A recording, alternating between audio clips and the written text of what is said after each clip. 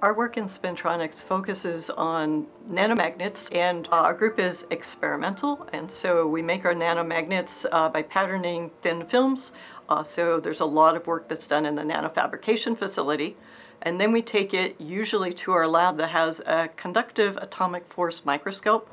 uh, where you use scanning probe techniques which can uh, measure the properties of individual nanomagnets with the probe tip in direct contact and so you send a spin polarized current through the probe tip and switch the state of the nanomagnet and then use measurements to as a function of magnetic field, as a function of voltage, and the current that you've passed through to see what happens to that nanomagnet, to see whether you can switch it, which would be useful in a storage device, or whether it is switching very rapidly in a probabilistic manner, which would be useful for probabilistic computing.